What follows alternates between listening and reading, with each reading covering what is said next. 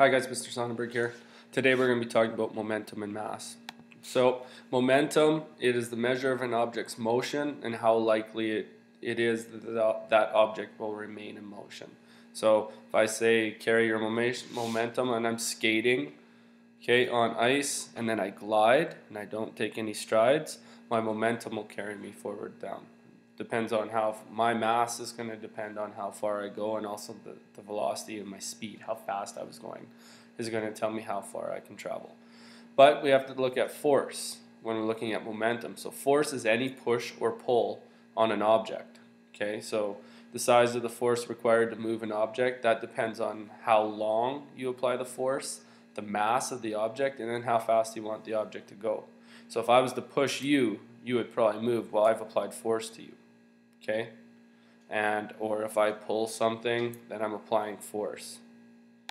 But if you take a look at these pictures here, you're going to see when we talk about momentum, I have a cruise ship, which are awesome, by the way. Um, I had the opportunity to go on one. They're great. Uh, if you've been on one, you can attest to that. And if you haven't, it'd be something definitely one day you'd probably want to do. They're really awesome. But then canoes are also cool. And living on the lake, I can't wait to take the canoe out in the spring, in the summer. But what's the difference between these two? Well, one is gigantic, and the other one is not so uh, not so big. Which one of these do you think you would be able to stop its momentum, canoe or the cruise ship? So I know I'd probably be able to stop a canoe, uh, but the cruise ship, I don't think I'd want to try. Wouldn't be doing screencasts anymore, that's for sure. It'd be done. But anyways, force objects that are not moving will not will not move until they're pushed or pulled with enough force. So you won't move unless I push you if you were just trying to stand still, right?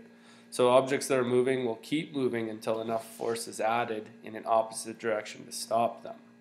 Okay, so uh, we, like I said, opposite directions. So uh, we need something pushing against it that'll eventually stop it and get its velocity to zero. So objects with a lot of momentum will take up more force they'll take more force and longer to stop. So that cruise ship, it's going to take a lot longer to stop it because it has greater mass, okay, and it's going to carry more momentum than a canoe is because it has less mass. So when we're calculating momentum, momentum is calculated by multiplying the mass of an object by its the velocity it is traveling, so it's kind of speed. So the heavier and faster objects will have more momentum. So the formula for it is going to be momentum equals mass times velocity, which you can see right here on the screen. Okay.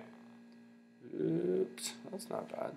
And then, so the mass is going to be in kilograms, velocity is in meters per second, and then the momentum is actually going to be calculated in kilogram meters per second. And that is right here. Okay. So I just want you to uh, pause the screencast and see if you can use that equation to figure this out.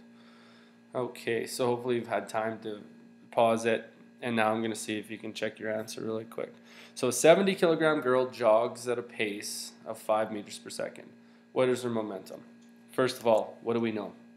Well, the first thing we know is we know the mass equals 70 kilograms. And then we know the velocity equals 5 meters per second. But we don't know what the momentum is. Okay, we don't know what that equals, the momentum, but we can determine it. Okay, so I'm just going to go mo for now, okay, instead of writing it out.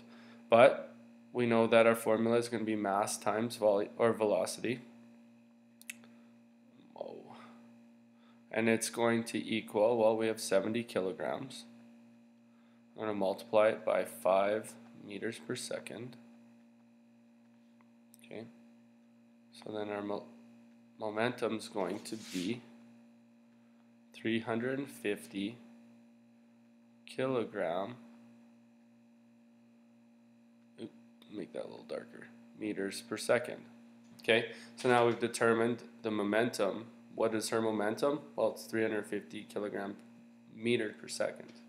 Okay, so hopefully your answers have matched up with the ones on the screen right here.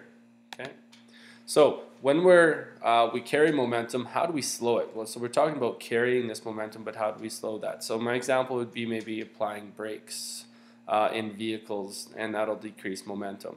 But we have to understand how brakes work first if we understand. So brakes use what we call friction. So friction is the force two objects exert on one another.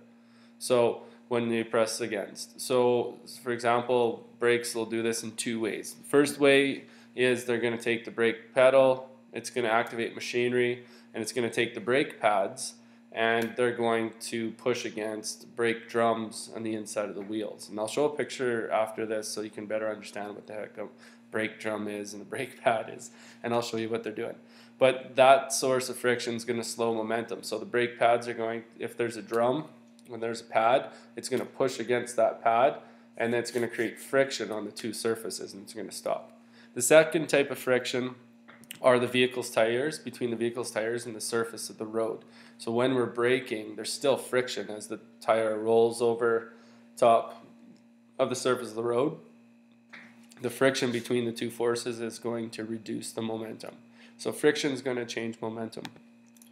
So what I was talking about with the uh, drum brake is going to, if, if you take a look, uh, right, what color should I do this in? Maybe this color. Okay. So we take a look. Well, we have the drum, and the drum's going around the outside right here. And then on the inside, okay, you're going to see that we're going to have a brake pad of some sort right here. Okay. So now we'll just call this right here. I don't know if you can see that, but I'm outlining it. Maybe I'll try it in red. Or is that green? Sweet. Try that. Oh, that's green. That's red right there. Okay, see this right here? I'm outlining and it has another one right here in dark. Okay, so those pads, they're going to press together. Okay, the drum and the pad, and it's going to create friction that's going to slow the vehicle down. Same thing over here. If you take a look at the picture of the bicycle, well, what happens is you have a metal frame or rim. Right here you can see it. Then you have a rubber brake pad. What's going to happen is you're going to apply the force of this rubber brake pad. Friction between the two is going to slow the wheel down. Okay, and then also friction from the surface of the tires here, and then the, the road at the base that the tires actually rolling on, okay, in this direction, is going to create friction. So that friction is going to be important. Okay, so that's how brakes on a bike are going to slow momentum, but then brakes on a car. And then we also we also have uh, disc brakes as well, and the newer braking technology is a lot different. And but same concepts apply. We apply brake pads um, to our brakes, and those brake pads are going to create friction. Friction also creates heat though, and that's going to create a lot of heat. But we're going to see friction on the tires and the ground. We're going to see friction between the two mechanical parts like a bike tire. The rubber pad is going to be on the metal frame. It's going to squeeze together, create friction, and that friction is going to slow our momentum. Okay, guys. Uh, this has been momentum and mass. Hopefully, you have an understanding of how to collect, calculate momentum, mass times velocity. Okay, and uh, hopefully, we'll uh, see you on the next screencast. Okay, thanks. Bye.